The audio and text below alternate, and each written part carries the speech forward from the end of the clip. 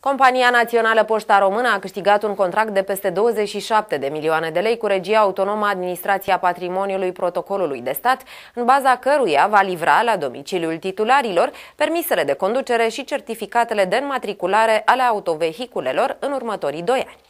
În baza contractului estimat la 27,31 de milioane de lei, compania va livra aproximativ 4 milioane 800 de trimiteri pe toată durata contractului. Anterior, furnizorul regiei autonome Administrația Patrimoniului Protocolului de Stat a fost tot Poșta Română, care a câștigat în anul 2017 un contract în urma unei licitații la care a participat și una dintre cele mai importante firme de curierat din România. La procedura de anul acesta s-au înscris aceleași două companii companii. Dacă în 2017 criteriul de atribuire a fost prețul cel mai scăzut, anul acesta accentul s-a pus pe cel mai bun raport calitate-preț.